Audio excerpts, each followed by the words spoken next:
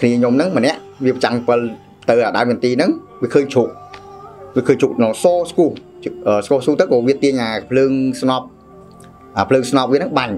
ដល់បាញ់ទៅវារត់វានៅតែឈ្មោះស៊ីឈ្មោះស៊ីឈ្មោះស៊ីក៏បិទគោមក្នុងគ្នាបិទគោមយើងក៏កេះតែកេះហ្នឹងដែលកេះជិះជិះឲ្យវាឃើញផ្លូវឃើញផ្លូវដើម្បីទៅគៀកយើងយើងត្រកគៀកចិត្តហ្នឹងចាត់អត់ឃើញជុកហើយស្អុយហ្មង5នាក់គោគោចូលទៅបានថាអាហ៊ុនហ្នឹងវាវាមកល្មមឬប្រុស មកប្រុសយើងចូលក្មេងៗប៉ុន្តែបើមនុស្សចាស់អាចទៅទៅក្បាលអញ្ចឹងយើងឲ្យចូលទៅដល់ដល់ពេលយើងចូលទៅមកងាប់នៅហ្នឹងហៅចាស់ផ្ទះមកហើយចាស់ផ្ទះក៏មើលឃើញដែរអត់ឃើញតែបាត់ហ្មងជុកហ្នឹងបាត់បាត់មកធុងបាត់ហើយអត់នៅធុងជុកហ្នឹងអត់មានលបោអត់មានអីបើកន្លែងគាត់ថាកន្លែងវាលគេកក់ខ្មោចណាបាទដល់ពេលទៅក៏ចែកគ្នាហោដល់ពេលចែកគ្នាហោចាំង7អ្នកមួយទៅកូនគាត់ហ្នឹងកូនគាត់ហ្នឹងប្រចាំងទៅមួយខាងទៅក៏ឃើញមកឈូសឃើញខ្ញុំជិះកង់មួយពូហ្នឹងក៏គាត់ហៅហៅថា អាកូនកណ្ដោហីហីទៅណាហីទៅណាជិះកង់ទៅមួយប៉ុណ្ណាក៏ខ្ញុំឃើញគាត់ទៅក៏ខ្ញុំសុំសុំគាត់ចុះគាត់ជិះកង់ទៅផុតផុតពីខ្ញុំផុតខ្ញុំប្រហែលជា200ម៉ែត្រអត់មានកោទេអត់មានកោមានតែខ្លួនមានតែខ្លួនមានអាវយើងឃើញខ្ញុំឃើញព្រីប្រេតព្រីប្រេតក៏ណាខ្ញុំឃើញស្និបស្និបអីចឹងខ្ញុំខ្ញុំចាំង7ទៅឃើញឃើញអាបើគាត់តែប្រចាំង7ព្រាមព្រុចទៅមក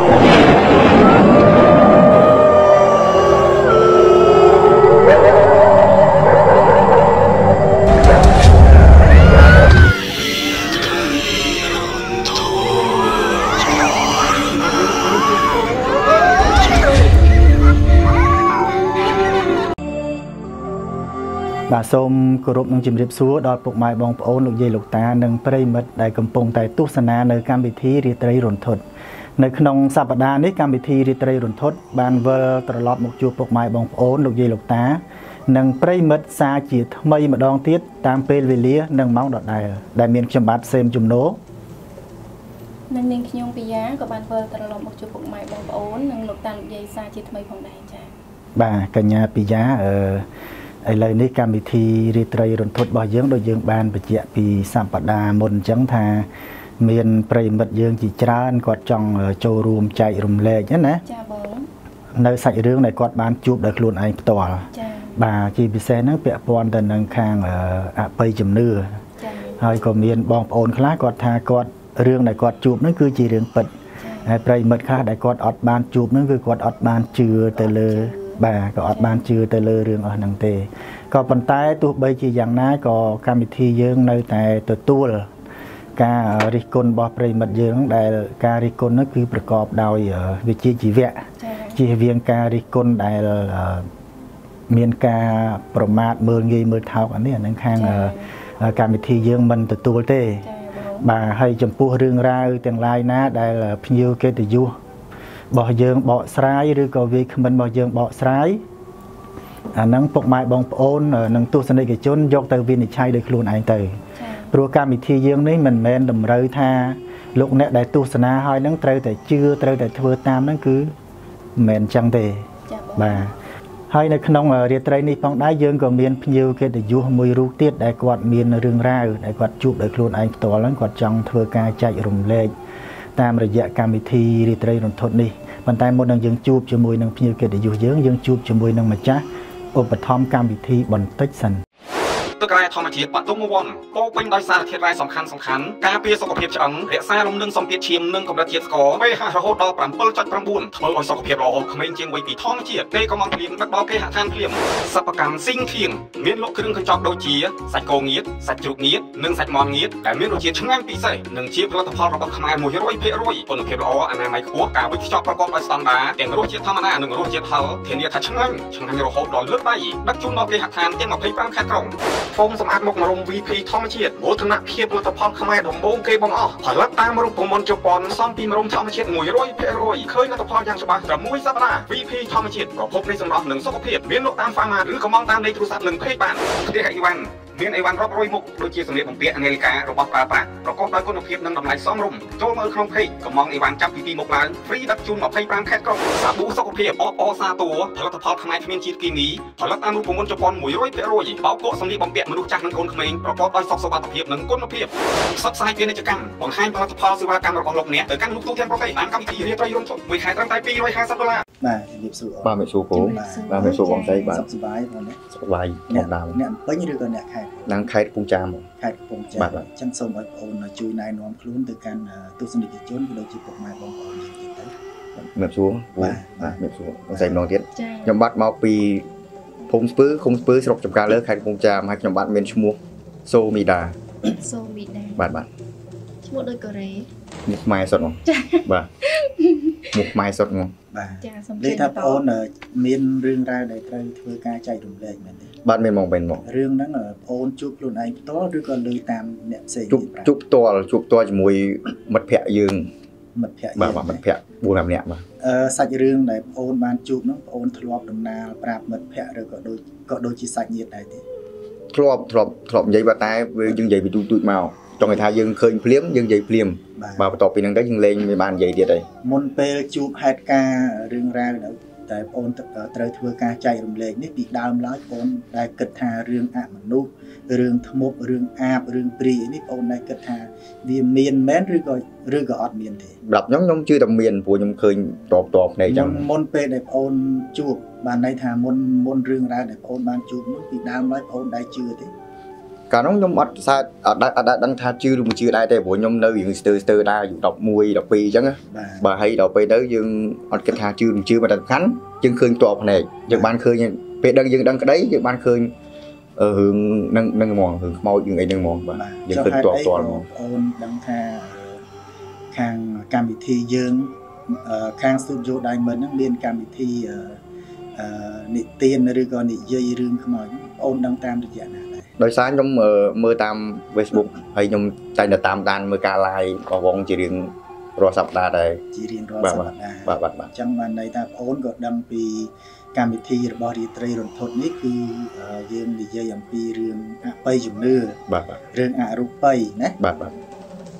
ដូច្នេះដើម្បីកុំឲ្យពុកម៉ែបងប្អូនលោកយាយលោកតាទន្ទឹងរង់ចាំយូរសូមឲ្យបងប្អូនធ្វើការចែករំលែកនៅរឿងរ៉ាវដែលបងប្អូនជួបផ្ទាល់នឹងតែម្ដងសូមជឿបាទបាទអរគុណហ្មងបាទ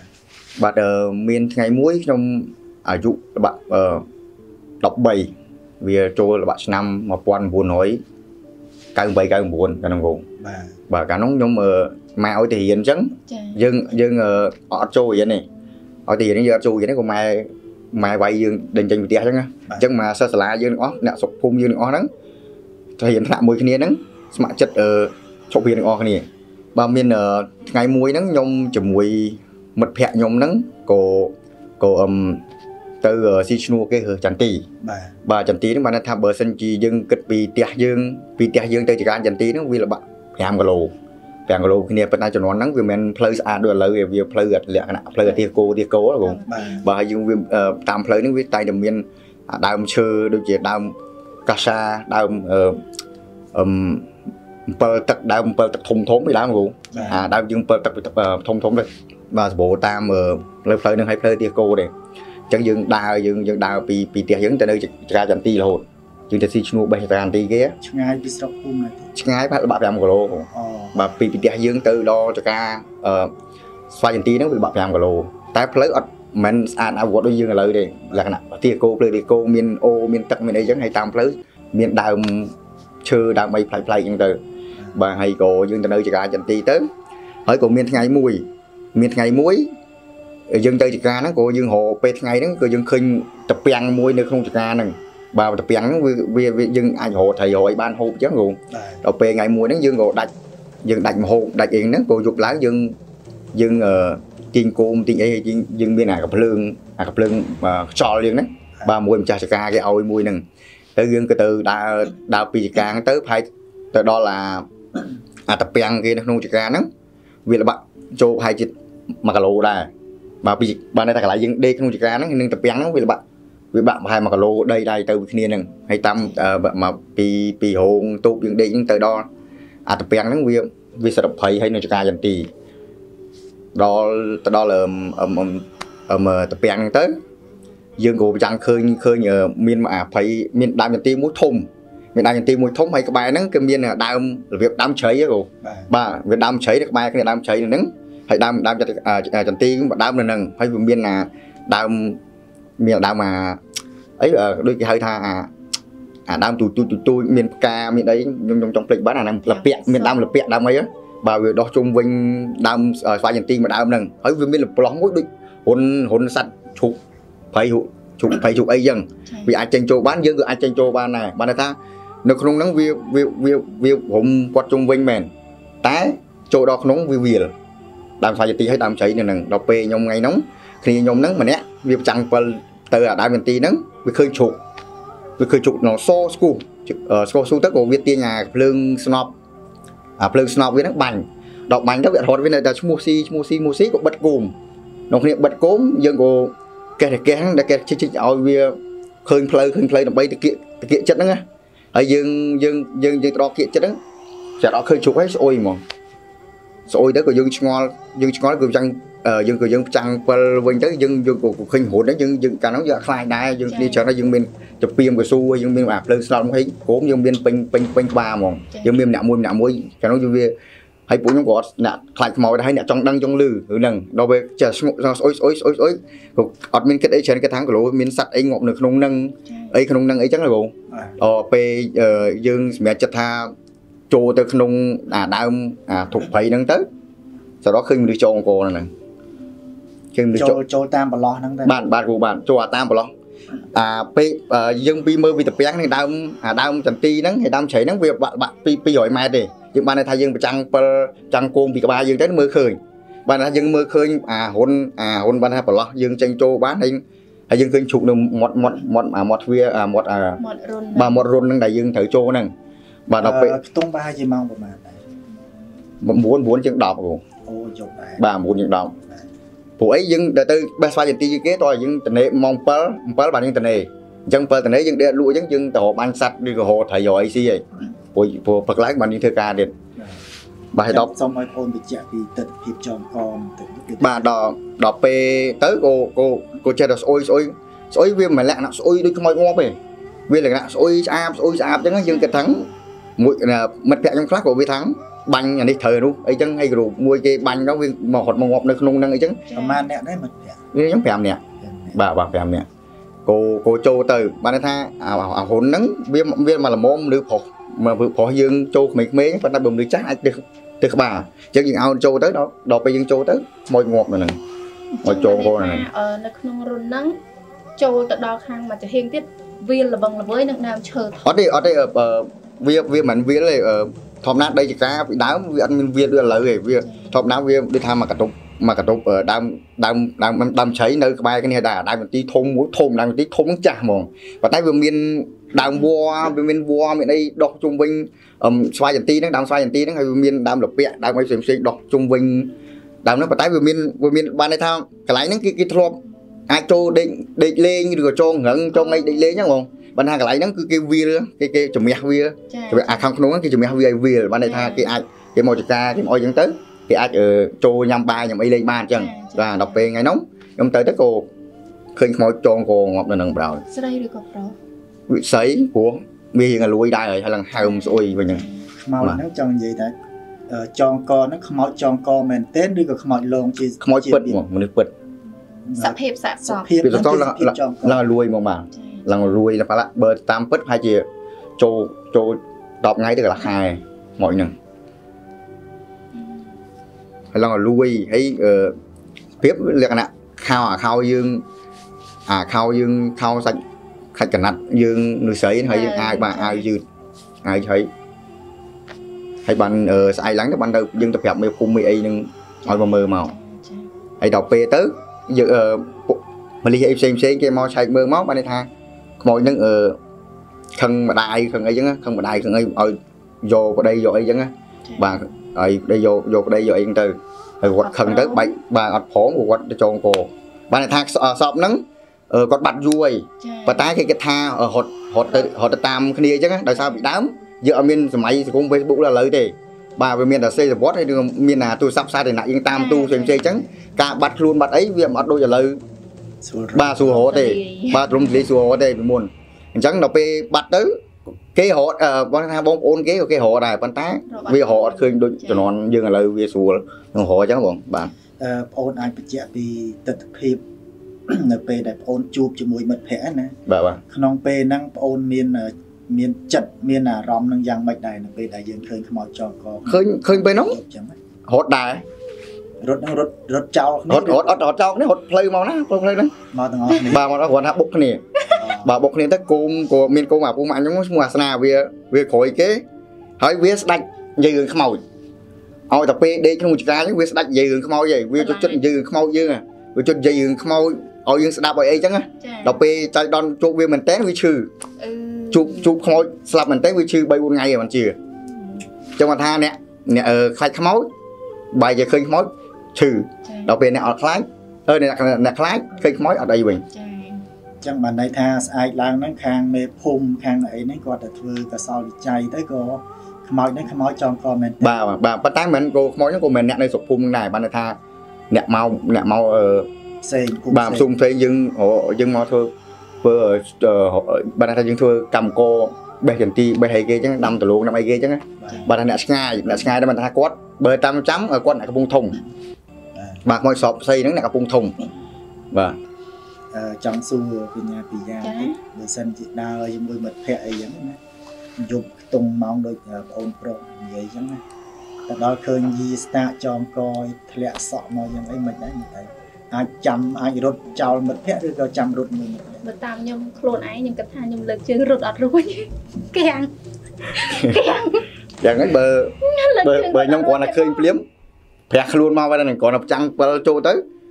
ប្រះខ្លួនខ្ញុំខ្ញុំខ្ញុំចូលមុនគេដល់ពេលចេញខ្ញុំចេញមុនគេដែរចាបាទអាពេលខ្ញុំអាពេលខ្ញុំចូលទៅបាទធម្មតាខ្ញុំយើងយើងយើងពេលយើងចូលទៅអញ្ចឹងมันមានគ្នាចូលតតបាទទាំងអឺបើរាប់ទាំងខ្ញុំវាដូចយើងចូលជួអញ្ចឹងណាបាទវាមិនមានអ្នកណាក្រោយក្រោយយើងចាដល់ពេលខ្ញុំចេញខ្ញុំចេញមុនបើឆ្ងល់អត់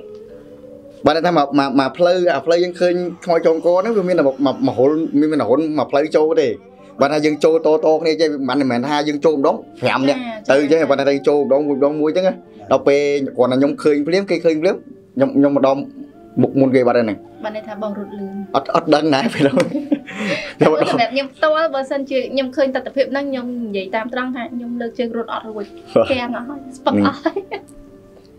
ចឹងបងអូនមានអីត្រូវបន្តទៀតទេបានមានបងខ្ញុំមានរឿងមួយទៀតអឺមអឺការបាក់ឆ្នាំ2007 2007ខ្ញុំអឺចេញពីផ្ទះម៉ែដូចគ្នាខ្ញុំទៅនៅជាមួយអឺគ្រូវិទ្យាល័យខ្ញុំគ្រូគ្រូផលគ្រូផលវិទ្យាល័យស្ពឺយើងហ្នឹងយកខ្ញុំទៅនៅមួយយ៉ាងអីមើលចិញ្ចឹមជុកចិញ្ចឹមអីចឹងចិញ្ចឹមជុកចិញ្ចឹមអីចឹងទៅហើយ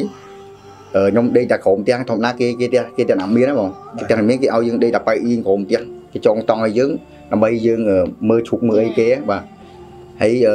ផ្ទះគាត់ក្រោយផ្ទះគាត់ហ្នឹងសបោហ្មងសបោអាបអាបអាបព្រាយមានហ្មង ហើយខ្ញុំធម្មតាឈូកកន្លែងអាអាកន្លែងអឺលេមួកឈូកអីចឹងណាបាទឃើញខ្ញុំឃើញព្រឺព្រែព្រឺព្រែធម្មតាខ្ញុំឃើញស្និបស្និបអីចឹងខ្ញុំខ្ញុំចាំងពិលទៅខ្ញុំចាំងពិលទៅទៅក៏ក៏ឃើញឃើញឃើញអាបបាទអាបបើតាមខ្ញុំគិតគឺមានពិតមែនបាទគាត់តែប្រចាំងពិលភ្លាមព្រុចទៅហ្មងអាហ្នឹងតាមបងអូនគិតឬក៏តាមបងអូនបានជួបជាក់ស្ដែងឃើញឃើញចាក់ស្ដែងឃើញភ្នែកហ្មងបាទអាហ្នឹងលក់មិនមែនតាមគិតទេតាមឃើញជាក់បាទឃើញឃើញកំព្រែកហ្មងព្រោះបើបើបើយើងបើបើយើងគិត គិតមើលមេឃវាល្បាក់ម៉ោង1ម៉ោង1 2ហើយយប់បាទម៉ោង1 2ព្រោះសុកស្រែចំការយើងអត់មានទូរស័ព្ទអីដូចឥឡូវទៅមានតែមានតែយើងមើលមើលមើលតែមេឃទេបាទតែខ្ញុំចង់ឲ្យបងអូនបញ្ជាក់ពីអាបហ្នឹងទៅព្រោះកន្លងទៅយើងច្រើនមកថាធ្លាប់ឮមានអ្នកបកស្រាយថាអាបហ្នឹងមានតែកមានតែពវៀនអីចឹងណាអញ្ចឹងខ្ញុំចង់ឲ្យបងអូនរៀបរាប់ថាអាបហ្នឹងមានទ្រង់ទ្រាយមិនខ្លះខ្ញុំខ្ញុំពេលខ្ញុំឃើញហ្នឹងវាវារបៀបសក់វែងហើយចាស់មុខនឹងជ្រួញ ចាស់មុខនឹងជ្រួញហើយអត់មានឈាមអីមានអីដូចនៅក្នុងអឺរឿងទេអត់មានទេហើយភ្លើងភ្លើងក៏វាមិនដូចក្នុងរឿងទេណាឃើញទូចមួយឯងឃើញទូចមួយហើយគាត់ថាភ្លឺតិចភ្លើងហ្នឹងអាចបាទបង្គាប់ភ្លើងអីគេភ្លើងរបៀបភ្លើងដូចអាអាភ្លើងនៃកេះយើងយើងកេះយើងកេះពលឺប៉ុណ្ណឹងណាវាមិនចំខៀវវាមិនចំលឿងមិនចំអីអាវារបៀបអាភ្លើងនៃកេះយើងកេះកេះមានពីរបីពណ៌ប៉ុន្តែវារបៀបវាពណ៌ពណ៌អញ្ចឹងអញ្ចឹងណាហើយមានបបៀនមានអីចឹងដូចគ្នាមាន ហើយដល់ពេលអាបហ្នឹងអឺគេគេគេគេរកគេបានអញ្ចឹងចាមចាមគេគេគេចាប់បានមែនចាមនៅស្រុកភូមិក្រោយក្រោយផ្ទះខ្ញុំហ្នឹងអឺកុំតន់ទៅដល់នឹងចង់ឲ្យបងអូនបន្តពីពេលដែលឃើញពេលយប់ហ្នឹងសិនបាទបងអឺពេលពេលឃើញហ្នឹងយើងប្រចាំង7ទៅអូខេរត់បាត់ទៅអោអាបហ្នឹងរត់បាត់បាទរត់បាត់ទៅលឿនទេស្ទួយធម្មតាធម្មតាយើងនៅស្រុកស្រែចម្ការមិនមែនមានភ្លើងពូភ្លើងអីបិទផ្ទៃដូចយើង នៅពីឥឡូវបច្ចុប្បន្នណាបើន័យថាពីដើមឆ្កៀងទាំងណាគឺនៅភ្លឺទាំងហ្នឹងឯងអញ្ចឹងនៅនៅអឺនៅអឺរោងជុងជុកហ្នឹងខ្ញុំហ្នឹងគឺក្បែរគ្នាទេខ្ញុំដេកព្រោះខ្ញុំទៅដេកយាមផ្ទះឲ្យគេណាខ្ញុំដេកយាមជុកហ្នឹងឲ្យគេបាទអញ្ចឹងបើថាគេគេអាភ្លើងភ្លក់ភ្លើងយើងបកាត់ភ្លើងកាត់អីហ្នឹងអាងឲ្យខ្លួនយើងហ្នឹងវាបានតែមកឆេះពេលយើងដេកហ្នឹងដល់ពេលយប់ឡើងវាអស់ហើយវាល្ងិតឈឹងហើយវាអត់មានពលឺមានអំពូម៉ែតអីគេចាប់ទៅភ្លឺអីទៀតទេប៉ុន្តែយើងមានគោមចាដល់ពេលមានគោមហើយខ្ញុំក៏ អាធុងជុកធុងជុកខ្ញុំហ្នឹងវាចេះលឺគ្រិកគ្រុកគ្រិកគ្រុកជុកចេះអ៊ឺអ៊ុកអ៊ីអ៊ុកហ្នឹងខ្ញុំធម្មតាខ្ញុំអ្នកមើលជុកអីគេបាទមើលជុកអីគេខ្ញុំគូចាំងពិលទៅចាំងពិលខ្ញុំដើរទៅព្រោះខ្ញុំវាមិនអ្នកខ្លាចខ្មោចខ្លាចអីណាខ្ញុំវាដើរមើលទៅតែគាត់តែចាំងពិលទៅមកឆ្វាច់យើងឃើញគៀកឃើញគៀកចឹងបាទថាធុងជុកវា4ជ្រុងយាយហើយអាលមុខជ្រុងខាងនេះហើយខ្ញុំខាងនេះឡើងទងទឹកគាត់ចាំងពឹបទៅប្រូចបាត់ហ្នឹងប៉ុន្តែបើតាមឃើញមកមកហ្វាយើងគឺវាវាមិនដូចក្នុងរឿងប៉ុន្តែវាអាច វាចឹងហើយប៉ុន្តែគាត់ថាភ្លើងទូចឯភ្លើងទូចទូចមួយឯភ្លើងគាត់រៀងធៀវអាបនឹងភ្នែកយ៉ាងម៉េចទៅអាបអត់ចាប់អារម្មណ៍ឃើញភ្នែកប៉ុន្តែដឹងថាសក់សក់វែងហើយជ្រួញបាទឡើងជ្រួញហ្មងហើយអាបខ្ញុំធ្លាប់មើលក្នុងរឿងជាពិសេសអាបអ្នកនាងលំអងនិយាយដើមអ្នកនាងលំអងបងលោកអងបាទបាទយើងកំពុងទៅទស្សនាកម្មវិធីនេះដែរតាមមើលបាទបាទភ្នែកអាបអ្នកនាងលំអងហ្នឹងគាត់ភ្នែកធំធំបាទបាទហើយគាត់មានចកោមទៀតហ្នឹងណាបាទអត់ចាប់អារម្មណ៍ទេបងអាហ្នឹងអាបក្នុងរឿងគាត់ហ្នឹងបាទខ្លាចបាទមែន បាទគាត់ហ្នឹងមិនមែននៅក្នុងរឿងទេឃើញនៅក្រៅក៏ខ្ញុំខ្លាចបាទបាទបាទហ្នឹងនិយាយដើមគាត់តិចណាបាទបាទអញ្ចឹងឲ្យបងអូនតតិចហ្នឹងហើយអឺស្រាប់លោកអងក៏ស្រាប់អារម្មណ៍ខ្លាចអឺបងខ្ញុំយល់ប៉ុន្តែមកភ្ញាក់បើយើងយើងថយដូចគ្នាហ្នឹងបាទប៉ុន្តែនៅតែអត់អត់នៅតែអត់ខ្លាចព្រោះខ្ញុំកាន់តែឃើញហើយខ្ញុំកាន់តែចង់ដឹងហើយអឺអាបហ្នឹងមិនមែនមិនមែនតែខ្ញុំឃើញអ្នកស្រុកភូមិខ្ញុំឃើញសឹងគ្រប់គ្នាធ្វើ អឺអាបគាត់ធ្វើអំពើធ្វើអីចឹងប៉ុន្តែចុងក្រោយគេដឹងទៅដឹងទៅគាត់ទៅចងពោសម្រាប់ខ្លួនឯងទៅអឺរូបរបស់អាបហ្នឹងដូចបាទបាទទៅចងពោសម្រាប់ខ្លួនឯងទៅបានន័យថាគាត់ខ្លាយទៅជាអាបហ្នឹងដោយសារតែមានគេធ្វើបាបគាត់បាទបាទចាធ្វើបាបគាត់ឲ្យគាត់ទៅជាបាទមិនមែនជាមនុស្សធម្មតាបាទបាទអញ្ចឹងទៅគាត់ក៏អត់ចង់ចងកម្មចងពៀជាមួយបាទបាទអ្នកផ្សេងហ្នឹងគាត់ធ្វើខេបាទខ្លួនឯង ប៉ុន្តែអ្នកស្រុកអ្នកភូមិភាគច្រើនហ្នឹងគេដឹងថាគាត់ហ្នឹងជាអាបអត់ដឹងទេតោះតែចងកស្លាប់ទៅបានមេភូមិមេឃុំនៅខាងភូមិចាមហ្នឹងតវ៉ាតវ៉ាបានគាត់និយាយប្រាប់ចាស់ចាស់តតគ្នាអញ្ចឹងគេមិនលក្ខណៈជាប្រកាសគាត់ណាគេប្រាប់តតចាស់ចាស់តតលោកគ្នាអញ្ចឹងគេធ្លាប់ចាប់បានគាត់បាទបាទហើយបានម៉ែខ្ញុំថាងនិយាយនឹងមកអញ្ចឹងបានមកសារមុខខ្មៅខ្មៅបងម៉ែខ្ញុំនិយាយប្រាប់ខ្ញុំក្មេងៗប្រាប់ទៅហើយក៏ខ្ញុំប្រាប់ម៉ែខ្ញុំដែរថារឿងនេះខ្ញុំធ្លាប់បានឃើញដែរបាទបាទហើយម៉ែខ្ញុំស្ដាច់ខ្លាចខ្មោចហីឲ្យតែយើងខ្មោចអីគាត់ គាត់អត់សូវចង់ស្ដាប់ទេប៉ុន្តែអារឿងអាបយាយនៅភូមិចាមហ្នឹងគាត់និយាយទៅក៏ខ្ញុំនឹកឃើញពេលខ្ញុំឃើញនៅអាពេលខ្ញុំនៅពូផលយាមជុកយាមអីហ្នឹងក៏ខ្ញុំប្រាប់គាត់ហ្នឹងចាខ្ញុំធ្លាប់ឃើញយ៉ាងដែរបាទបាទអញ្ចឹងអូនមានតែប៉ុណ្្នឹងទេបាទរឿងអារឿងហ្នឹងគឺមានតទៀតអាហ្នឹងអាបបាទហើយអឺមានយុគមួយទៀតយុគមួយទៀតខ្ញុំនៅនៅផ្ទះគ្រូផលហ្នឹងតែយាមជុកចាបាទយាមជុកដេកដេកដេកបាត់ជុកអស់ពីធុងលេងហឹមជុកអឺជុកហ្នឹងបាត់អស់ពីធុងលេង យើងរកយើងរកនៅហ្នឹងមកយប់ទៅភ្លឺរកអត់ឃើញទេរកអត់ឃើញស្អែកឡើងទៅរកទេរកអត់ឃើញទេរកយ៉ាងណាក៏អត់ឃើញទេដល់ដល់លោកគ្រូផលហ្នឹងគាត់គាត់អឺក៏ដឹកខ្ញុំទៅរកគ្រូទាយរកគ្រូទាយខាងអឺប្រភេងចាសុំសុំកាត់អូននេះសិនអូនអត់ឃើញជ្រូកហ្នឹងអត់ឃើញតែម្នាក់ឯងឬក៏ទាំងអស់គ្នាឃើញអស់អត់ឃើញអស់គ្នាបាត់តែបាត់ជុកហ្នឹងហៅចាស់ផ្ទះមកហើយអាចាស់ផ្ទះក៏មើលឃើញដែរអត់ឃើញតែបាត់ហ្មងជុកហ្នឹងបាត់បាត់មកធុងបាត់ទៅហើយអត់អានៅធុងជុកហ្នឹងណាអត់មានលបោ អត់មានអីទេធម្មតាយើងធុងធុងជុកធុងជុកឈើមិនគូចាធុងជុកឈើយើងវាយដៃគោវាយអីចឹងណាវាមិនមែនចាក់សាបចាក់អីពេញដូចឥឡូវណាយើងវាយយើងយើងចាក់សាបតែក្រមដល់ពេលអាធុងបិទហ្នឹងវាយឈើវាយឈើបិទបិទវាហ្នឹងអត់មានលបោអីតិចអត់មានលបោហើយក៏អត់មានលបោអីតិចដែរដល់ពេលរមកយប់ហ្នឹងរអត់ឃើញប្រហែលជារ10មិនដល់រកឃើញក៏ដេកក៏គាត់គាត់នាំគ្នាដេកស្អែកឡើងក៏ប្រពន្ធគ្រូផលហ្នឹងថាឥឡូវ បើគាត់ឃើញទេអឺឃើអឺនៅព្រៃនៅខាងប្រភេទហ្នឹងគេមានគ្រូគ្រូទាយមួយបកែគ្រូទាយមួយបកែអញ្ចឹងខ្ញុំក៏ជិះមួយគ្រូផលហ្នឹងគ្រូផលគាត់បើស្រុកទៅគាត់ត្រូវជាតកែខ្ញុំផងត្រូវជាគ្រូខ្ញុំផងគាត់យកខ្ញុំទៅនៅមួយអញ្ចឹងណាមកដល់ពេលផឹកឡើងទៅផឹកឡើងផលបាក់ជាម៉ោង8ហ្នឹងម៉ោង8ទៅរកគ្រូទៅរកគ្រូទាយហ្នឹងដល់គ្រូទាយរកអត់ឃើញទេគ្រូទាយហ្នឹងគាត់ទៅទាយអីគេហើយមកផ្ទះវិញម្ដងទៀតរកឈូកហ្នឹងមកទាំងមកងាត់ មកមកកណាត់ថ្ងៃទៀតបានន័យថាយើងមកដល់ផ្ទះវិញ10បណ្ដប់ថ្ងៃត្រង់ហ្នឹងយើងបាយហើយយើងដោរទៀតបានន័យថាយើងទៅរកគ្រូទាយមួយសាហើយយើងអត់បានទៅជួបគ្រូទាយទេយើងដាក់រកជុកនឹងជុំវិញផ្ទះរកភូមិគេអីផ្សេងផ្សេងអត់ឃើញទេររនៅណាឃើញដល់ពេលល្ងាចប្រហែលម៉ោង4 4:75ហ្នឹងចូលទៅទៅទៅរកគ្រូទាយមកទៀតគ្រូទាយជួបគ្រូទាយហ្នឹងគ្រូគ្រូទាយថាជុកហ្នឹងអត់ទៅណាទេគេយកទៅខាងកើតជុកហ្នឹងគេយកទៅខាងកើតបានន័យថាអត់គាត់អត់អត់អត់អត់បញ្ជាក់ថាង គេយកទៅគ្រឿងអឺអាអាផ្លូវក្នុងផ្លូវក្រៅខ្ញុំមិនដឹងទេដឹងថាគេថាគេយកទៅផ្លូវកើតគេយកទៅផ្លូវកើតអញ្ចឹងបានតែគេយកពីផ្ទះគាត់ហ្នឹងផ្ទះគាត់នៅលិចទេដល់ពេលជុកហ្នឹងវានៅកើតគេបដាទៅបាទបានថាគេយកទៅកើតគេយកទៅខាងកើតដល់ពេលមកដល់ផ្ទះគ្រូអឺមកដល់ពីផ្ទះគ្រូទីនឹងវិញគ្រូទីថាហ្នឹងឯងគ្រូទីថាឲ្យទៅរកខាងកើតគេយកទៅខាងកើតឲ្យយើងឲ្យខ្ញុំនឹងនឹងម្ចាស់ជុកហ្នឹងទៅរកខាងទិសខាងកើតរកនឹងឃើញវានៅនឹងទាំងអស់ គេយកទៅក្នុងគេយកទុកក្នុងក៏មកពីផ្ទះគ្រូទីពីប្រវែងមកដល់សាស្ពឺវិញវាល្ងិតឯងល្បាក់ម៉ោង6យើងទៅទៅល្បាក់ម៉ោង6 1ជិះ7ក៏យើងចាំង7ទៅរកទៀតរកភ្លឺណាយប់បងយប់ភ្លឺរៀបយប់ no no អឺល្ងាចល្ងាងាចកងាកយប់6 7យប់ហ្នឹងអូបាទយើងចេញទៅរកទៀតរកទៀតហ្នឹងបានន័យថាខាងអាអាទិសខាងកើតហ្នឹងបានន័យថាអឺតំបន់ភ្នោខ្មោចអញ្ចឹងបានន័យថាពេលដែលអត់អត់ឃើញជ្រូកក្នុងទ្រុងហ្នឹងគឺពេលថ្ងៃពេលថ្ងៃបាទអូបាទអត់អត់អត់មែនទេបងអឺ ពេលយប់បានន័យថាពេលយប់បានន័យថាយើងបាត់តាំងតាំងពីពេលយប់ហីបាទបាត់តាំងយប់បានខ្ញុំដេកមកប្រាំងខ្ញុំភ្ញាក់មកខ្ញុំប្រចាំង7ខ្ញុំប្រចាំង7លើមើលជ្រូកវាបាត់អស់តាំងពី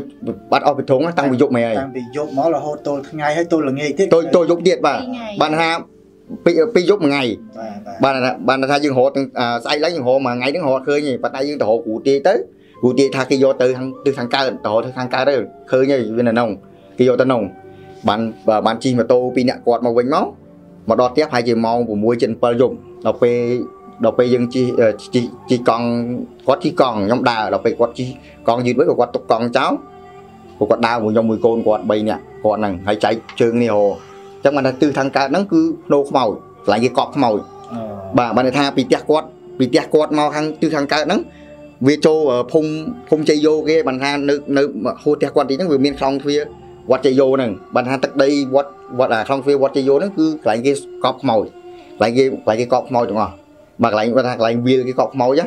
បាទដល់ពេលទៅក៏ចែកគ្នាហោដល់ពេលចែកគ្នាហោចាំង7អ្នកមួយទៅកូនគាត់ហ្នឹងកូនគាត់ហ្នឹងប្រចាំងទៅមួយខាងទៅក៏ឃើញមកឈូសកូនគាត់ណាក៏ឃើញមកឈូសក៏វាមកកេះខ្ញុំតាចុះអាក្រៅអញឃើញអីហ្នឹងអញឃើញអីហើយចាំងម្ដងតែចាំងឃើញខ្ញុំចាំងអត់ឃើញវាចាំងឃើញ វាចាំងឃើញឈូសដល់ចាំងឃើញឈូសខ្ញុំអត់អស់ចិត្តខ្ញុំដឹកដៃវាទៅប្រាប់គ្រូផលដល់ប្រាប់គ្រូផលទៅថាលោកគ្រូហ្នឹងរត់ថាឃើញភ្នោខ្មោចអឺឃើញមកឈូសនៅមុខភ្នោខ្មោចដល់ពេលលោកគ្រូលោកគ្រូបាំងទៅលោកគ្រូដល់លោកគ្រូចាំង7លើម្ដងទៀតឈូសចេញពីឈូសចេញពីឈូសអូក៏បងអូហ្នឹងវានៅក្នុងវានៅក្នុងដល់ពេលទៅដល់មិនមែនមិនមែនឈូសសោះដល់ពេលយើងរត់យើងរត់ទៅយើងរត់ធម្មតាយើងរត់មិនមែន7មិនមែន7នៅថឹងផ្លូវរហូតទេយើងរត់យើងរត់រហូតជប់បាទបាទវាអង្គើ វាអង្គើបាត់ចឹងដល់ពេលហ្នឹងមិនមែនជប់ហ្នឹងគល់អស់ដល់ពេលគល់អស់ក៏ដឹងខ្មោចលោងគ្រូថាខ្មោចលោងកន្លោះខ្មោចលោងគ្រូគាត់រត់មកវិញបាទថាអាអាភ្នោខ្មោចហ្នឹងគឺភ្នោខ្មោចគេគេចិនណាកូនគេតាងអ្នកចិនគេអ្នកមាននៅស្ពឺយើងហ្នឹងចិនគេភ្នោគេធំដល់ពេលត្រឡប់មកវិញមកងាកមកបន្តិចជុកនៅនេះបាទថាភ្នោខ្មោចនេះអាយើងឃើញសកម្មភាពផ្សេងផ្សេងហ្នឹងឃើញទេឃើញបាទតែភ្នោខ្មោចបាទខ្លាយខ្នើយជ្រូកវានៅដល់បញ្ជុនៅផ្ទះគេ ប៉ុន្តែនេះជាប់ភ្នោខ្មោចដែលមិនថាទឹកដីទឹកដីផ្ទះគេនិងទឹកដីភ្នោខ្មោចហ្នឹងគឺវាជាប់លបងគ្នាគ្រាន់តែគេកាត់លបងបាទហើយជ្រុកនៅផ្ទះគេហ្នឹងនៅក្នុងទ្រុងដែរឬក៏មិននៅផ្ទះគេហ្នឹងប្រយនៅក្នុងផ្ទះបាទនៅផ្ទះគេទាំងអស់នៅទាំងអស់បាទនៅទាំងអស់ហើយមានបាត់មួយនៅហ្នឹងវាដើរមកហ្នឹងនៅហ្នឹងទាំងអស់ប្រយមិនទៀតឡើយអស់អស់តំណឹងរបស់ហើយចាស់ជុំនោះទុកនៅហ្នឹងឬក៏យកទៅជុំគាត់យកទៅផ្ទះគាត់វិញស្អែកដល់ពេលដល់ពេលស្អែកឡើងដឹងគាត់គិតមិនគាត់ថា គាត់បើកលុយខ្ញុំគាត់ថាឲ្យខ្ញុំសម្រាប់សិនហោជុកឃើញគាត់ឲ្យខ្ញុំសម្រាប់សិនអូបាទថាបើនិយាយឲ្យចំមកយើងខ្លីគាត់ឈប់ពីការងារគាត់ឲ្យខ្ញុំទៅនៅផ្ទះខ្ញុំវិញអត់ដឹងមិនដែរកាលនោះអត់ទេអានេះខ្ញុំនិយាយពិតនិយាយទៀតបាទប្រហែលជាគាត់គិតថាហេបងនឹងដូចជើងកប់ជាមួយអាមួយខ្មោចខ្លាំងខ្ញុំខ្ញុំអត់ដឹងដែរហើយអាចដែរខ្ញុំតាំងពីខ្ញុំនៅទៅនៅមួយគាត់បើនិយាយឲ្យចំនេះខ្ញុំខ្ញុំទោសលោកគ្រូបើសិនជាលោកគ្រូបានឃើញគាត់លេងបៀដាច់ឈ្នះហើយបាទ បាទខ្ញុំទៅនៅមួយគាត់គាត់លេងបៀដាច់ឈ្នះហើយគាត់លេងប្រពន្ធគាត់លេងបៀថ្ងៃណាក៏ចាញ់ដែរឲ្យបាទមានប្អូននៅជាមួយគឺលេងមកវឹកខ្ញុំទៅនៅមួយហ្នឹងគាត់លេងបៀដាច់ឈ្នះទេគាត់ចាញ់រហូតគាត់មូម៉ៅមួយអីរហូតហ្នឹងគ្រូផលបាទបានឃើញហ្នឹងហើយបើសកូឃើញខ្ញុំឲ្យខ្ញុំអឺសុំទោសផងនេះវាជាវាជាការពិត បាទហ្នឹងហើយលោកគ្រូផលអើយបើឃើញអីគឺអឺភ័យតូចគ្នាផងហ្នឹងហើយដូចគាត់បញ្ជាក់អញ្ចឹងថាលោកគ្រូលេងបៀអត់សូវឈ្នះអញ្ចឹងណាពេលដែលមានគាត់ណាអញ្ចឹងអាចថាមកពីប្អូនហ្នឹងក៏យាយសើជាមួយគាត់ដែរខ្ញុំខ្ញុំអត់ដឹងដែរបងបាទគាត់ដឹងតែថាពេលនៅមួយគាត់អត់អាចលេងឈ្នះបៀក៏លេងមិនឈ្នះហើយជួបជួបរឿងបានខ្មោចទៀតអឺបៀក៏លេងអត់ឈ្នះហើយតែផ្ទះគាត់ហ្នឹងមានលៀងម៉ូតូលៀងឡានដែរអត់ដែរមានម៉ូតូមានឡានណាមកលៀងទេដល់តែយ៉ាងទៀតអត់អត់មានទាំងអស់អូបាទ យូរយូរបានបានយូរយូរបានអាឡានយើងដឹកឈើដឹកអីហ្នឹងអាឡាននេះដឹកឈើធំធំហ្នឹងបានមកមួយរាខែបានមួយអញ្ចឹងបានហើយបាទអូនសួយអស់អស់បាទអញ្ចឹងបានខ្ញុំបានខ្ញុំគិតថាចេះខ្ញុំគិតថាហេតុផលដែលគាត់ឲ្យខ្ញុំសម្រាប់ទៅនៅផ្ទះខ្ញុំវិញហ្នឹងមកពីអញអញ្ចឹងបាទបាទគាត់គាត់គាត់ឃើញជុកភ្លាមគាត់បើកលើខ្ញុំថាស្អីឡើងគាត់ថាក្រោយឯងទៅនៅមួយម៉ែឯងមួយរយៈសិនអញសម្រាប់សិនបើថាគាត់ប្រឈប់បាទវាបាទច្រើនដំណាក់កាលដែរណាជ្រូកបាត់អស់ពីទ្រង់ ឡៃលៀងម៉ូឡានតូម៉ូលៀងតូឡានអត់មានអ្នកលៀងបាទបាទហើយដល់ទៅលេងបៀទៅក៏មិនឆ្ដែរងាយឈ្នះបាទអញ្ចឹងវានឹងគាត់វាបើខ្ញុំបាទអត់ទៅទៅពីជំនាន់បាត់ជ្រូកលើសពីបាត់បាត់ជ្រុកហ្នឹងចុងក្រោយឯងបាត់ជ្រុកហ្នឹងចុងក្រោយឯងបើថាយើងលៀងឡានលៀងម៉ូតូហ្នឹងវាជាធម្មតាទេបើថាគេមកលៀងក៏មកទៅហើយផ្ទះគាត់ផ្ទះគាត់និងផ្ទះគេជាប់មួយទៀតហ្នឹងគេលៀងឡានលៀងម៉ូតូដែរគេមានភ្ញៀវគេសុខចិត្ត អ្នកលៀងឡានលៀងម៉ូតូគេសុខចិត្តចាំចាផ្ទះគាត់គេអត់ចូលទេគេគេអត់ចូលលៀងផ្ទះគាត់ទេបើថាវាមិនដឹងថាមកសយមកពីខ្ញុំឬក៏និស័យគាត់ខ្ញុំអត់ដឹងទេប៉ុន្តែបើតាមបើខ្ញុំនិយាយអានេះខ្ញុំនិយាយពីពីមុនហ្នឹងខ្ញុំអត់គិតអញ្ចឹងទេប៉ុន្តែដល់ពេលយើងមកដល់ផ្ទះនេះយើងស្មានស្មានគិតគិតទៅបាទខ្ញុំគិតថាហើយជាសយមកពីយើងឬក៏មកពីគាត់យើងអត់ដឹងប៉ុន្តែគាត់ដឹងថាដូចខ្ញុំកាត់អឺអឺបងប្អូនទីយើងជុកជុកបាត់មែនប៉ុន្តែរកឃើញវិញដល់ពេលស្អែកឡើងខ្ញុំទៅផ្ទះម៉ែខ្ញុំវិញគាត់ គាត់សម្រាប់វិការងារហ្មងចាអញ្ចឹងលោកគ្រូផលបានឃើញហើយអឺឋានតីឲ្យគាត់ទៅណាអាចទទួលគាត់យកទៅធ្វើការវិញក៏ទទួលទៅហើយណាមួយទៀតបងបើសិនជាត្រឡប់ទៅផ្ទះវិញឲ្យម្ដាយស្រោចទឹកលើករិស័យឲ្យពរឲ្យចៃទៅគឺសុខសប្បាយឡើងវិញឯងបាទបាទបាទខ្ញុំស្ដាប់មើលទៅសួយនេះសួយអស់ទោសសយអស់របត់ហ្មងបាទសួយដូចរឿងអីរឿងនេះជប់គ្សរឿនយបាទរឿងនេះគ្រឿនចាជប់សយជួបបងជួបសួយចាសួយនេះសួយលំដាប់រឿងនេះគ្រឿនហ្នឹងសួយហ្នឹងណា ប្រហែលប្រហែលគ្នាហ្មងបាទវាចូលទៅឯងហ្នឹងបាបាទទខ្ញុំវាអស់ចាត្រង់ថាកន្លែងលៀងឡានវាអត់មានអ្នកចូលដល់ដល់ម្លឹងហើយសុខចិត្តទៅលៀងកន្លែងគេចិត្តហ្នឹងណាគេបាទបាទបាទគេមានភ្ញៀវគេភ្ញៀវគេសុខចិត្តចាំគាត់បញ្ជាក់មិញណាបាទបាទហើយខ្ញុំគិតថានេះជារឿងពិតដែរដែលបងអូនអឺចាហ៊ាននិយាយគាត់ត្រង់អញ្ចឹងបើបើតាខ្ញុំនិយាយទៅហើយសយមកពីខ្ញុំមែនអត់បាទសយមកខ្ញុំមែននេះខ្ញុំមិនមិនហ៊ានថាថាមិនទេប៉ុន្តែបើតាមសាច់រឿងហ្នឹងវាអាចសួយអអត់ត់ចូល បាទសួយនោះសែនសួយណាបាទបាទបាទអញ្ចឹងគ្រូអឺសុំទោសផងអញ្ចឹងហើយសយមកពីខ្ញុំហ្នឹងឥឡូវសយទឹកអស់ហើយឥឡូវគ្រប់វត្តហើយឥឡូវខ្ញុំមាននិយាយទៅបន្តទៀតទេបានមានអឺខ្ញុំមានមករឿងទៀតមករឿងទៀតហ្នឹងអឺរឿងពិតដែរបាទប៉ុន្តែខ្លីដែរទេរឿងហ្នឹងអឺមានថ្ងៃមួយអឹមម៉ែអឺម៉ែគាត់អឺដេញបងខ្ញុំចេញពីផ្ទះបាទបងដេញបងខ្ញុំចេញពីផ្ទះបាត់អស់រយៈពេល2ថ្ងៃឯង អស់រយៈពេលអស់រយៈពេល2ថ្ងៃឯងដល់ពេលថ្ងៃមួយហ្នឹងប្រហែលជាម៉ោង3ហើយកាលហ្នឹងខ្ញុំអាយុប្រហែលជាបើខ្ញុំចាំហើយបាក់1996 97ខ្ញុំនៅទូទូចដែរបាទខ្ញុំនៅទូទូចដែរកាលហ្នឹង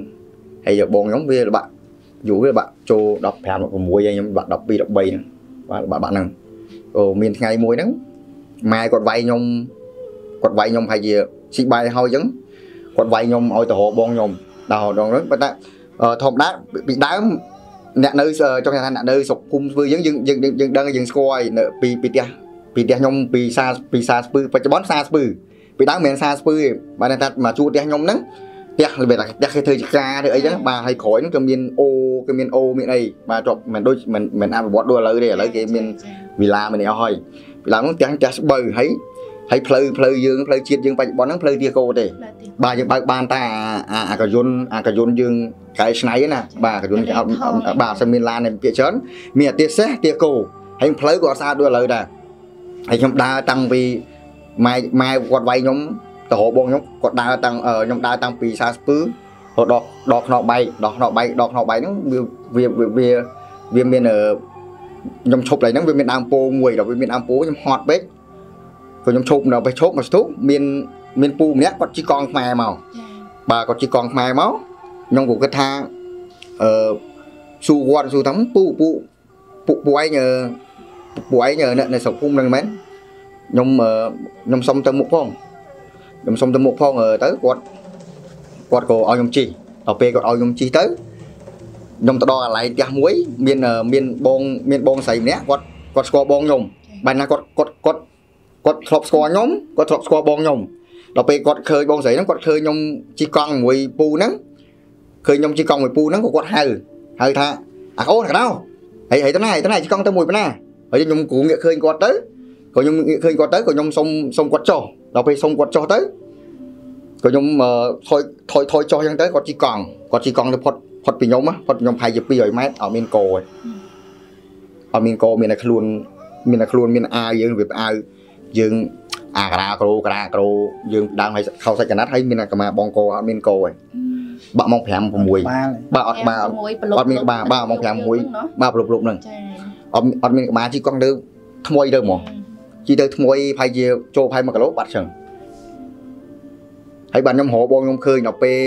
ខ្ញុំខ្ញុំនិយាយរឿងហ្នឹងប្រាប់ម៉ែខ្ញុំទៅប្រាប់តាតាប្រាប់ចាស់ទុំក្នុងហ្នឹងទៅគេប្រាប់ថាប្រហែលជាប៉ាខ្ញុំហីពូប៉ាខ្ញុំគាត់ស្លាប់គាត់ចងកោ បើថាខ្ញុំខ្ញុំខ្ញុំដើរនិយាយរួមមកមកភូមិយើងមកភូមិខ្ញុំដើរមកភូមិរកបងខ្ញុំរកអត់ឃើញទេរកឃើញទៅក៏ក៏យើងអង្គុយកុកកន្លែងដើមពោនៅក្នុងបែកហ្នឹងក៏មានមានមានគាត់មកហ្នឹងបានន័យថាគាត់លិចលិចមុខមកឲ្យយើងយើងជីកដប់យើងអាចឲ្យឲ្យឲ្យឃើញបងស្រីហ្នឹងណាបានបងបានន័យថាបងខ្ញុំហ្នឹងទៅនៅ với បងស្រីហ្នឹងបងស្រីហ្នឹងគាត់វាថាគាត់អឺជាអ្នក រកស៊ីគប់បោកអឺគប់បប៉ោងហ៎ចាអាគប់បប៉ោងតាមចាបនទៀនតខិនអីផ្សេងផ្សេងអញ្ចឹងអឺគេគេហ្នឹងគេរកស៊ីហ្នឹងហើយបងខ្ញុំហ្នឹងគេគេដើរតាមហ្នឹងគេដើរតាមសពបប៉ោងឲ្យគេហ្នឹងហើយក៏ក៏គាត់ដប់ទៅមកទៀតក៏ឃើញបងស្រីហ្នឹងមកបានន័យថាបើខ្ញុំគិតប្រហែលជាប៉ាខ្ញុំហីគាត់គាត់លេចមុខមកបើឲ្យយើងឃើញទៅដប់ដប់យើងទៅឲ្យជួបបងស្រីហ្នឹងសំកាត់បងតិចអឺនៅពេលដែលបងឃើញគាត់ហើយសុំគាត់ជិះកង់ជាមួយនឹងអត់បានឃើញមុខច្បាស់ទេ អត់និយាយរួមទៅគាត់របៀបបើយើងយើងយើងមិនទៅចាប់អារម្មណ៍យើងមិនដូចឥឡូវយើងមើលមុខគ្នាអញ្ចឹងណាវាអត់អត់អត់អត់អញ្ចឹងតែយើងអង្គុយនៅដុំថ្មអញ្ចឹងទៅគាត់ជិះកង់មកគេចុះកង់មកទៅខ្ញុំក៏ក៏ក៏ប្រះខ្លួនទៅនិយាយមួយគាត់ទៅធម្មតាកង់នៅហ្នឹងមនុស្សយើងនៅចេះចានៅពាក់កណ្ដាលកង់មនុស្សចេះហើយយើងនិយាយទៅគាត់មានបែរមុខមកណាវាថាគាត់បែរតិចទៅគាត់ថាឡើងមកមកអូបាទមកនេះថានៅពេលដែលបងឃើញគឺមានក្បាលមានអីធម្មតាមានធម្មតាមនុស្សយើងធម្មតាហ្នឹងខ្ញុំអានេះខ្ញុំនិយាយហ្នឹងមិនដឹងថាខ្ញុំសពិនសពិនភ្នែកឬក៏ខ្ញុំ ហេវបាយហេវអីទៅវាសវាំងភ្នែកអត់ដឹងប៉ុន្តែច្បាស់ឃើញច្បាស់ហ្មងគឺពេលអាវពេលអាវយើងអឺស្ដាច់បាយដល់ពេលខ្ញុំសួរម៉ែខ្ញុំទៅប៉ាគាត់ចងកប៉ាគាត់ចងកអឺស្លៀកឈុតហ្នឹងឯងអឺខ្ញុំចង់បញ្ជាក់ថយក្រោយបន្តិចអឺចង់ឲ្យបងអូនបកស្រាយនៅពេលដែលបងអូនឡើងជិះកង់ជាមួយអឺមនុស្សប្រុសម្នាក់ហ្នឹងណាបាទបាទពេលដែលបងអូនអត់ឃើញក្បាលចង់និយាយទស្សនវិជ្ជាពេលហ្នឹងបងអូនយ៉ាងម៉េចដែរយើងអត់អត់អីហ្មងដូច លក្ខណៈធម្មតាគ្រាន់តែយើងមានអារម្មណ៍ថាមានអារម្មណ៍យើងមានអារម្មណ៍ក្នុងចិត្តយើងយើងយើងយកទៅប្រាប់ម៉ែយើងពេលហ្នឹងចង់និយាយថាពេលហ្នឹងបងអូននៅជិះកង់ជាមួយគាត់ទៀតឬក៏លោកចេញពីអត់លោទេចុះធម្មតាគាត់ឈប់បានន័យថាបងបានន័យថាខ្ញុំខ្ញុំជិះកង់ពីអាដើមពោយើងក្នុងបែកហ្នឹងជិះប្រហែលជាបាន500ម៉ែត្រក៏ឃើញបងស្រីហ្នឹងហើយបងស្រីហ្នឹងហៅខ្ញុំហ្មងខ្ញុំអត់បានឃើញខ្ញុំខ្ញុំខ្ញុំកាន់ចង្កេះគាត់ជិះកង់កាន់ចង្កេះគាត់ហ្នឹងទៅបងស្រីហ្នឹងអ្នកហៅខ្ញុំហ្មងមកខ្ញុំអត់ឃើញបងស្រីហ្នឹងទេបងស្រីហ្នឹងអ្នកហៅខ្ញុំហ្មងអូណាកដោ ហើយពួកអត់ខ្លោតមែនបងស្រីហ្នឹងហៅខ្ញុំអញ្ចឹងណាហើយខ្ញុំថាបាទបាទហ្នឹងហើយខ្ញុំតាមរកខ្ញុំតាមរកវាម៉ែវាយខ្ញុំឲ្យខ្ញុំតាមរកវាហើយក៏ក៏ក៏គាត់ថាអើឥឡូវវាវានៅផ្ទះអញហ៎ក៏ខ្ញុំក៏ខ្ញុំចុះពីកង់ពូហ្នឹងក៏អរគុណពូហ្នឹងគាត់គាត់ជិះទៅគាត់ក៏ជិះទៅធម្មតាយើងមើលចេះមើលគាត់ណាយើងចេះមើលគាត់ទៅបានប្រហែលម៉ែត្របានម៉ែត្រអីចឹងព្រោះព្រោះធម្មតាផ្លូវផ្លូវយើងខ្នងបែកហ្នឹងវាមិនមិនផ្លូវស្អាតដូចឥឡូវវាមាន វាមានទួលមានកលុកឲ្យគាត់នៅខាងលបងផ្ទះគេណោះបងស្រីបានន័យថាគាត់ចេញពីអាផ្ទះគេមកយើងយើងជិះអាផ្លូវជាតិយើងហ្នឹងប៉ុន្តែមិនមែនជាតិឥឡូវវាមុនវាក្លិកលុកក្លិកលុកយើងអាចជិះលឿនបានទេបាទហើយក៏គាត់ហៅពីចងាយហៅទៅក៏គាត់ក៏ទៅទៅខ្ញុំក៏តាមមើលគាត់រហូតហើយជាល្បាក់500ម៉ែត្រ100ម៉ែត្រឃើញតែដាច់កោថ្មិល អត់មានអត់មានអត់បានថាមនុស្សជិះកង់ទៅធម្មតាប៉ុន្តែអត់មានក្បាលអឺអញ្ចឹងបានន័យថាពេលដែលអត់ឃើញក្បាលហ្នឹងមិនមែនបងអូនពងកំពុងជិះជាមួយទេអត់ទេមែនទេមែនទេបានន័យថាទៅផុតហើយគាត់ទៅផុតទៅបាទទៅផុតខ្ញុំហើយជា4 500ម៉ែត្រទៅបាទបាទបាទហើយទៅទៅក៏ខ្ញុំសួរទៅក៏សួរក៏ខ្ញុំដាក់អារម្មណ៍ខ្លួននោះក៏ខ្ញុំទៅសួរម៉ែខ្ញុំម៉ែទៅក៏គាត់ថាហើយជាប៉ាគាត់គាត់លេចមកព្រោះខ្ញុំរករកបងខ្ញុំរកឡើងមួយយប់មួយថ្ងៃហ៎ខ្ញុំរកអត់ឃើញខ្ញុំដើររហូតខ្ញុំដើររកគាត់ឡើងមួយយប់មួយថ្ងៃ មកមកដល់ខ្ញុំខ្ញុំគេទៅខ្ញុំខ្ញុំចេញពីផ្ទះខ្ញុំដំបូងតាំងពីម៉ោង11 11ថ្ងៃត្រង់ណាទៅរកបងខ្ញុំហ្នឹងណាខ្ញុំដើររកពីស្ពឺដល់អឺស្វាយទៀបក្នុងបែកក្នុងបែកស្វាយទៀបបុកខ្នើយខ្ញុំត្រឡប់មកវិញហើយបើតែខ្ញុំដើរត្រឡប់មកវិញណាខ្ញុំដើរពីបុកខ្នោពីស្វាយទៀបមកដល់ខ្នោបែកយើងអាអាដើមពោអាដើមពោយើងខ្នោបែកហ្នឹងខ្ញុំបានតែថាខ្ញុំអស់សង្ឃឹមហីខ្ញុំរកលេងឃើញខ្ញុំខ្ញុំត្រូវដើរត្រឡប់បកក្រោយទៅផ្ទះវិញខ្ញុំថាម៉ែវាយទៅម៉ែវាយមិនក៏វាយទៅវាយងាប់ពេកក៏វាយទៅចង់អញ្ចឹងណាដល់ ចៅដនទៅគាត់លិចលឹកលិចកង់ហ្នឹងមក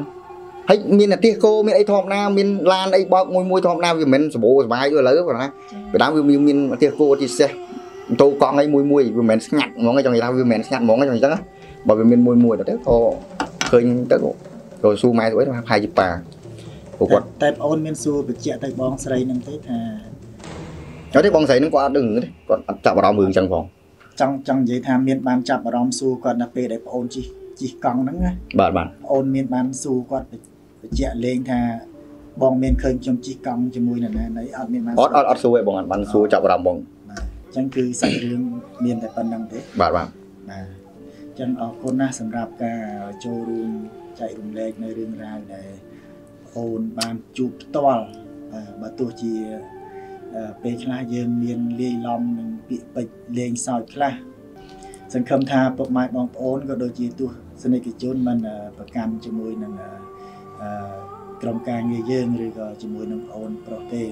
បាទតែទោះយ៉ាងណាក៏យើងសូមកោតសរសើរនៅភាពក្លាហានរបស់ប្អូនដែលគាត់មានភាពក្លាហានក្នុងការបកស្រាយណាកញ្ញាកញ្ញាបាទហើយជាចុងក្រោយនេះយើងមានជាកញ្ចប់ថវិកាហើយកញ្ចប់ថវិកានេះយើងទទួលបានពីម្ចាស់ឧបត្ថម្ភ មានដូចជា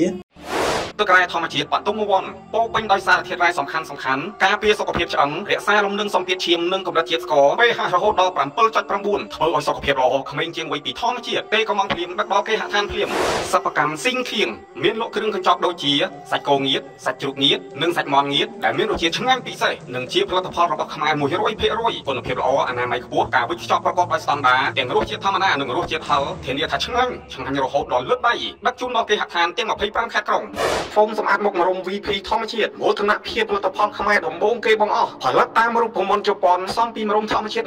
100%ឃើញលទ្ធផលយ៉ាងច្បាស់ត្រឹមមួយសប្តាហ៍ VP ធម្មជាតិប្រភពនៃសម្រស់និងសុខភាពមានលក់តាមហ្វាម៉ាឬក៏មកតាមលេខទូរស័ព្ទនិង Page បានផ្ទះអីវ៉ាន់មានអីវ៉ាន់រាប់រយមុខដូចជាសម្លៀកបំពាក់នាឡិការបស់ប្រើប្រាស់ប្រកបដោយគុណភាពនិងតម្លៃសមរម្យចូលមើលក្នុង Page កំងអីវ៉ាន់ចាប់ពី2មុខឡើង free ដឹកជូន25ខេត្តក្រុងសាប៊ូសុខភាពអបអសាតួផលិតផលខ្មែរគ្មានជាតិគីមីផលិតតាមរូបមន្តជប៉ុន100%បោកគក់សម្លៀកបំពាក់មនុស្សចាស់និងកូនក្មេងប្រកបដោយសុខសុវត្ថិភាពនិងគុណភាព